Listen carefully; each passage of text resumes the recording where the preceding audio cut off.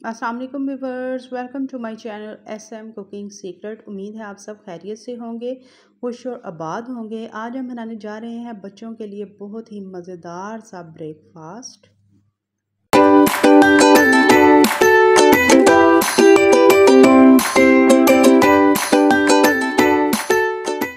यहाँ पर मैंने मिक्स वेजिटेबल्स ली थी और उसमें मैंने शामिल किया है चिली फ्लेक्स और काली मिर्चें, वन टीस्पून, हरा धनिया, वन टेबल स्पून और एक छोटा टमाटर मैंने मिक्स वेजिटेबल में शामिल किया और यहाँ पर नमक शामिल करेंगे हसब ज़रूरत।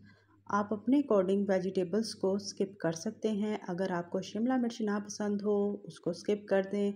गाजरें पसंद ना हो या टमाटर पसंद ना हो तो आप तमाम की तमाम चीज़ों को स्किप कर सकते हैं। ब्रेकफास्ट अंडे के बगैर अधूरा है। इसमें मैं एक अदद अंडा भी शामिल करूँगी। ठीक है? जो मिक्स वेजिटेबल थी, टू टू टेबल स्पून मैंने ली थी। आप अपने अकॉर्डिंग तमाम की तमाम चीज़ों को कम या ज़्यादा कर सकते हैं। अब इसमें शामिल करेंगे चिकन एक कप भर कर इसको मैंने तिक्का मसाला लगा कर अच्छी तरह से पहले ही कुक कर कर श्रेड कर लिया है। आप अपने अकॉर्डिंग इसको तिक्का मसाला के बगैर भी जस्ट बॉईल करके इसमें शामिल कर सकते हैं। यहाँ पर हम लेंगे दो अदद मग, मैं लूँगी दूध का, और यहाँ पर मैंने लिया है एक कप भर कर गंदम का, और आधा कप मैंने लिया है मैदे का। ठीक है? और अपनी क्वांटिटी आप इसको भी, अगर आप गंदम का आटा पसंद नहीं करते तो मैदे का यूज़ कर लीजिएगा। लेकिन मैं, चाह ये रही थी कि इसमें गंदम की भी ताकत बच्चों को जाए। इसलिए मैंने एक कप भर कर गंदम का आटा लिया है और हाफ़ कप मैंने लिया है वाइट आटे का। या आप ले लीजिएगा मैदा, जो आपका, आपके पास इजीली अवेलेबल हो, आप उसको यूज़ में लेकर आएँ। और अच्छी तरह से आपने इसको मिक्स करना है। एक कप यहाँ पर दूध का जा चुका है। इसमें मज़ीद एक कप मैं और ऐड करूँगी।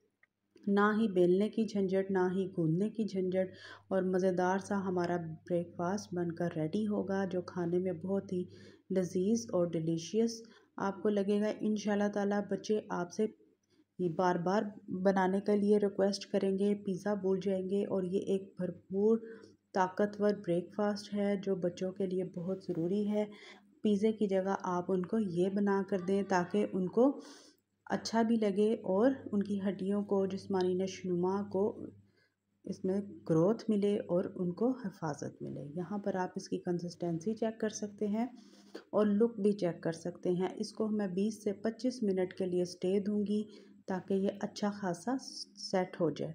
फिर उसके बाद हम अपना जो ब्रेकफास्ट है उसको रेडी करेंगे। यहाँ पे 20 से 25 मिनट गुजर चुके थे। एक दफ़ा आपने फिर इसको इसी तरह से मिक्स करना है।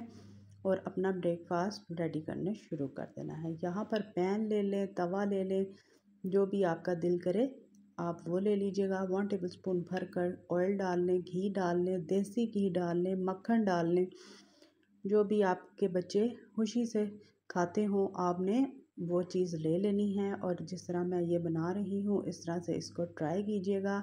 लाइक करें शेयर करें सब्सक्राइब करें बेल आइकन का बटन ज़रूर प्रेस करें। ताकि मेरी हर आने वाली नई रेसिपी आप तक सबसे पहले पहुँचे। यहाँ पर आप देख सकते हैं कि आप इसको, इसकी मदद से भी इस तरह से प्रेस करके एक ब्रेकफास्ट रेडी कर सकते हैं।